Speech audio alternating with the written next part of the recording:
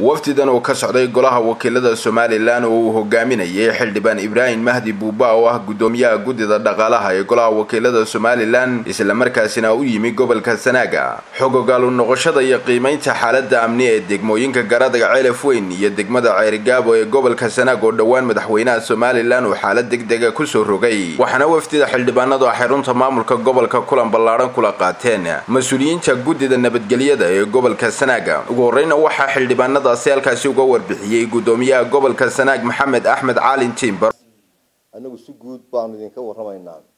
Xaaladda gobolka nabadgelye ahaan iminka aada baanu u degannahay.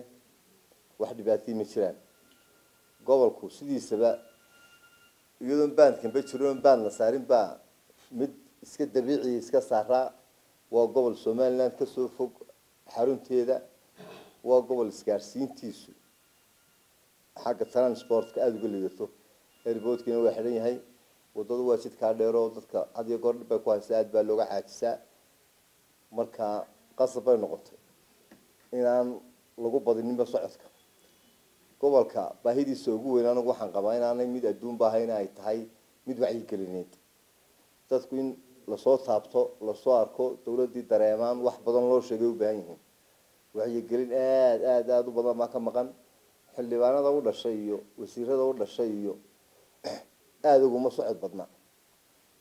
Sidaanu u yar tuunsanay in sool iyo gebil iyo loogu socod badan yahay. Sanaag looguma socod badna. Sanaag waa gobol kala fog. Oo waxaa laga yaabaa inaan caawa ka soo hoyin haddaad isla koonahan tago koonaha kala tag dhaqdhaqaaq. Marka horta anigu waxaan qabaa waxaa ka maqan gobolkan ee ugu weyn waa wacyigelin in dadka wax badan loo sheego in la dareensiiyo dawladnimada la gaadhsiiyo in ay qacanta dawladda iyo qacanta dadku isgaadhaan baa aada loogu baahan yahay. Badhasaabka gobolka sanaag maxamed axmed caalin timbaro oo guddidaasi warbixinta siinaya ayaa sheegay in gobolka sanaag ay ka jirto cunno yari isagoona hay'adda w f b ku eedeeyey inaanay bulshada gobolka sanaaga aanay siinin mashaariic horumarineed ay naftooda ku maareeyaan. Qaarkood dhibaatada jirta waxa wey dadkii cunto la'aan bahaysa raashin la'aan way ka baxeen. Intii yarada haydhana waxba kuma filla. Qolooyinkan la yidhaha ayaa wax bixiyana. Maalintay kuugu xuntay baabay kugu sii joogsanayaano markaanu islahayn maanta ugu baahi badantiin bay dhahayn waabanu goyni anugu garan mayno sabab waxay cuskadeen waa maalinta loogu baahi badnaa anugu waxaan leeyahay kuwaana adeer inta yara iminka noo soo reebteenna haysta. Gobolkaygana hanagaba soo gelina waayo habsaamin baanu aragna waxaanay bixiyaan waxaan leenahay adeeranba dadkan sida galbeedka xoolaha loogu iibinayo ee beeraha loogu qodiyo shaqo u abuura. Amba farsaarkan yar garaamkan yar bahalka ugu soo ridaysaan iska haysta. Isaguna halkaasi ka hadlay abaanduulaha ciidanka qaranka oo ku sugan gobolka sanaag oo dhankiisa ka warbixiyey xaalada gobolka sanaag.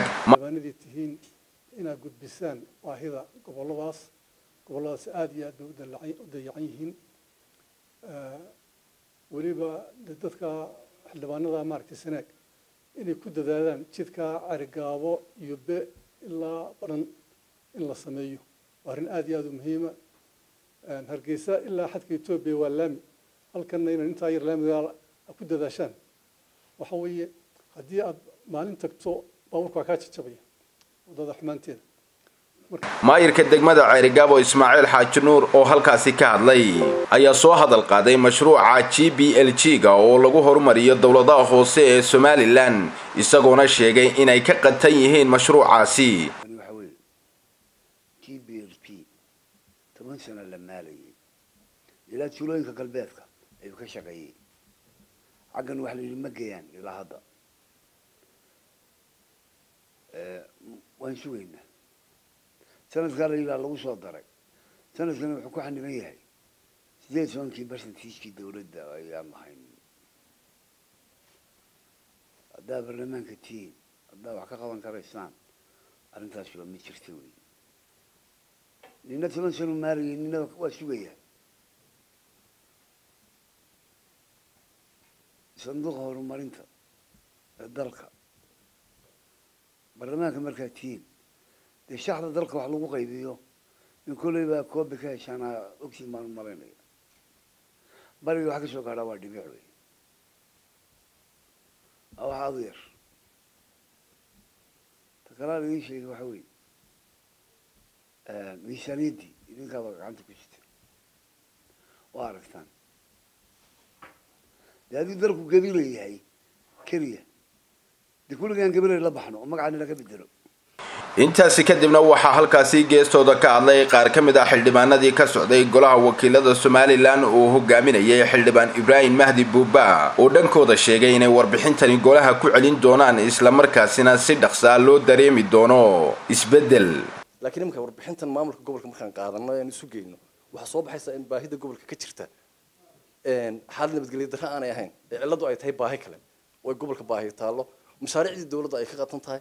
Mashaariicdii ay hay-aduhu bixin jireen ay ka qatan tahay haba yaraatee ilaa ayaa hadda lama aproof garaynin waxayna u taagan tahay baa la yidhi percentageka ay dowladda dowladda dhexe bixin jirtay percentageka dowladda dhexe bixiso marka la helo ayaana la sii daaya mashruuca dowladda dhexe waxaan ugu baaqinaa inay bixiso degmooyinkaas maadaama ay yihiin degmooyin dalka ka hadhay si kastaba ha loo dhigee dhacdooyin dee kolley way dhacaan meel kasta caalamka dhacda way ka dhacdaa laakiin sidee loo maamulay weeye isweydiinta ugu dambaysa dhacdada halkaa ka dhacday hadda dhacdadii ugu dambeysay in si fiican loo maamulay hawshiina weli lagu daba jiro raggiina qaar la qabtay dhibaatada keenay.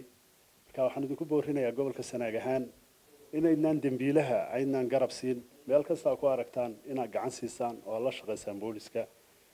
Horumarkeenu wuxuu ku imanayaa markaa gacmaha isqabsataan wada shaqayn dhow yeelataan. Runtii haddana waxaan rajaynaynaa in boqolkiiba labaatan weliba gobolkan waa gobol ballaadhan waa gobol kala fogfog biyorati gaara in la siiyo. Gobolka sanaag hawlaha ay u xil saaran yihiin ee guddidu u hayso golaha. Waxaa u dheeraad ah oo aanu maanta halkan u joognaa kuna matelaynaa golihii wakiilada.